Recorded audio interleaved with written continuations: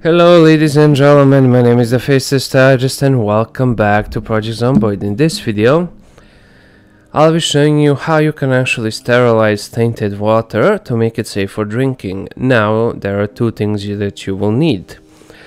Uh, that is three, let's say. Or four, if you're lucky.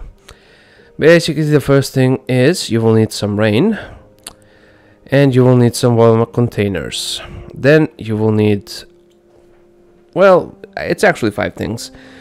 You will need uh, you will need it for it to rain, and you will need to have some of these uh, containers over here. There are a couple of more, but these are some of the most common ones. You just throw them down on the ground, and as it rains, it will actually fill up with water. Now, that's one way of getting water. The other one is getting it directly from a water source, such as a pond of water, the river a lake, whatever it is that you find out in the wild, it'll be tainted water. Then you either have two choices either to boil it over a fire, or to put it in an oven, or to put it in a microwave. Now, of course, as in real life, you don't want to take a cooking pot, which is made out of metal, and shove it into a, a microwave and turn it on. You will have a very bad time.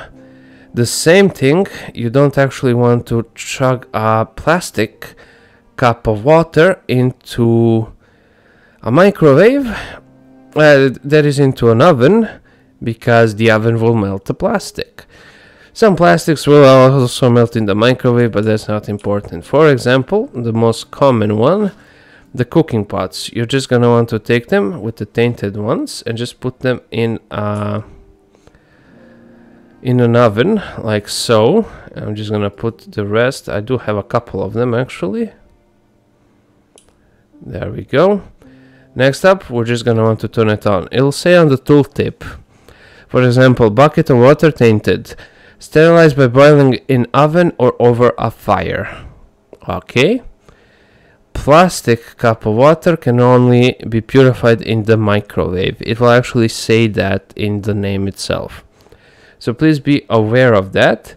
And as you can see, if you have the tooltip enabled, it will actually show you that it is that it is now safe to drink if you compare it to this one which has a skull and red text. Yeah, just so you know.